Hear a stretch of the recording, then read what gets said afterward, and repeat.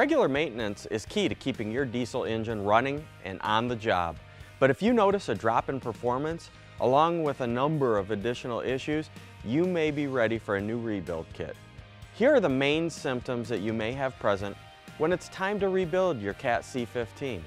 You may have uh, crankcase pressure, blow-by, oil consumption, knocking, excessive smoke, loss of compression, poor fuel economy, oil sludge, what you can check or test on your C15, do an oil analysis, look for high metal concentrations, foreign contaminants, unfiltered air entering your system. Excessive blow-by is due to piston and ring wear causing high oil consumption.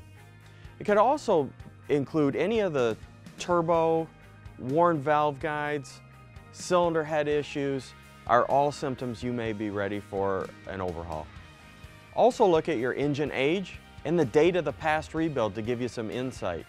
We offer both an in-frame and an out-of-frame overhaul kit in the 225-0115-C15, as well as a re-ring kit, the IF C15E1. Be sure to like the video and smash the subscribe button to stay up to date with Highway and Heavy Parts on YouTube. If you have any questions about today's video, submit a comment below or chat with us on highwayandheavyparts.com. Or you can talk to me or any of the service techs from Highway and Heavy Parts at 844-447-1453. From diagnosis through delivery, we're Highway and Heavy Parts.